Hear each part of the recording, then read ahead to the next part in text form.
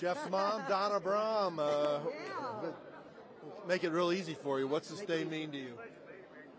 It's been a long time coming for us, but we've enjoyed Purdue. It was a great place, but nothing like being at home. And so finding it out, uh, I couldn't say anything, but it happened so fast. And the principal at St. Bernard said, Donna, can you tell me my husband wants to know if he's coming? And I said, well, I'll sing a song. We'll be home for Christmas. So that's how I got the word out. I didn't tell them, I just sang that song. So we're just so excited to have Jeff here, especially the family and the kids. I mean, it's been a long time. Uh, we've loved it where we've had to go, but it's nothing like being at home. What's this week been like for you since Monday? When, when Oh, did gosh. you find out that Satterfield was leaving? I, forgot, I think Brady texted Oscar like he did his dad. And I went, what? Oh my gosh, you're kidding. It, it just like, oh my gosh, this is our chance. It had to be our chance. Did Jeff talk to you at all about what you thought? No, no, he knows what we think.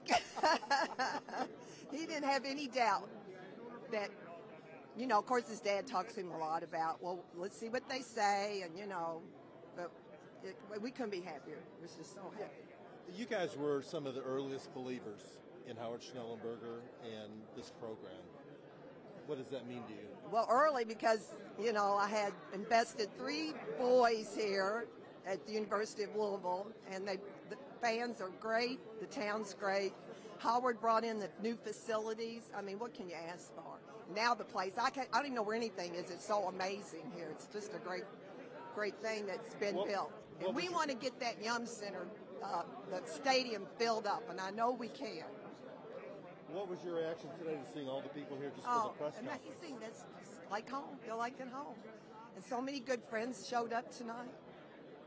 I know it meant a lot to you for a lot of your uh, Jeff's Trinity teammates and stuff and Oh coaches. gosh, the Trinity's been amazing, but the whole city, we've always loved it being here.